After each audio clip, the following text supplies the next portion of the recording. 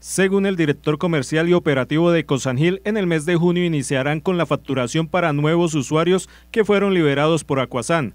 Esto a raíz de solicitudes hechas por las personas quienes desean obtener los servicios de la nueva empresa de aseo. Entonces estos 12 primeros usuarios a los cuales nosotros venimos prestándole el servicio, ¿sí? porque ya son usuarios nuestros, están en el proceso de facturación. E igual, ya llegamos a un acuerdo con nosotros de otros 8.000 usuarios que ya tenemos radicados en, la, otra empresa Aquasan ¿sí? para este proceso.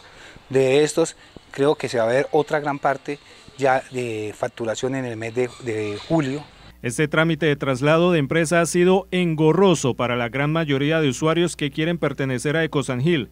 Esto debido a procesos que se adelantan desde la empresa Aquasan.